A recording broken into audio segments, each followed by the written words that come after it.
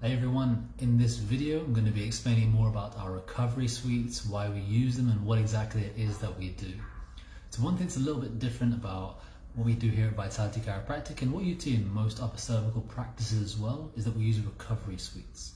So the purpose of these recovery suites at simplest level is to speed up progress and recovery for our patients.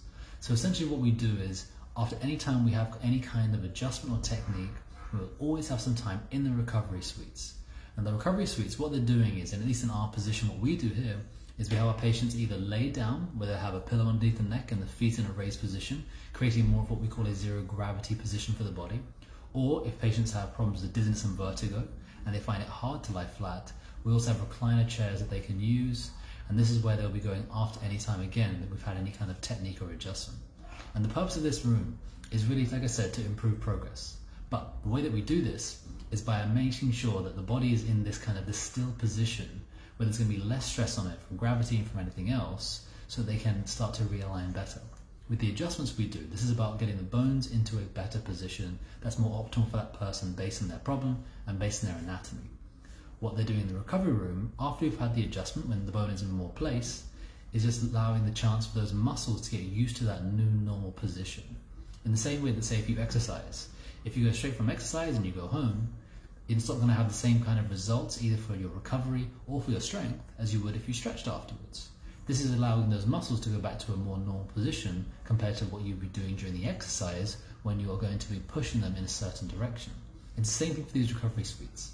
It gives a chance for those muscles to get used to the new normal position because if you get straight up and go straight outside after an adjustment, those tight muscles, which some patients would be months or years stuck in that position, will start to slowly pull things back to where it was, just slowing down the whole recovery and progress process. So really that's the main purpose of those rooms. One of the other things it's doing as well as not just you know allowing the muscles a chance, but it's also giving your sympathetic nervous system more of a calming down so the parasympathetics can start to work more properly. So in your nervous system it has these two different parts and two, these two distinct parts are called the sympathetic and parasympathetic. The easy way to think of them is the sympathetic is a bit like an accelerator pedal in the car. It's all about going, it's all about stress, it's all about things that need to move forward. And this is helpful. I mean, if you exercise, you need parasympathetics, sorry, you need sympathetics. If your heart is going to beat faster, all of these different activities need sympathetics.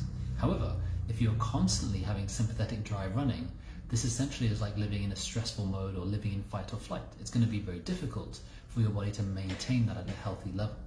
So what you need to have is more time in parasympathetics, which very simply is a way of being like the brake for your body. One side is the accelerator, the other side is the brake. This calms things down, helping you to rest, digest, and recover. So to help with this, sorry, uh, so to help with this, what we would do is we would make sure that we have yourself in a darkened room, having yourself in this laid down position, and even the music in there, everything is directed to helping the body calm down better in that way. This is something we have after every time we have a visit with our patients for 15 to 30 minutes. And then afterwards, we have another nerve scan to make sure that the adjustments have been successful. If anyone has any questions, you can of course give us a call at 84389550, email help at vitalitychiropracticcentres.com or comment below this video and we'll get back to you as soon as possible.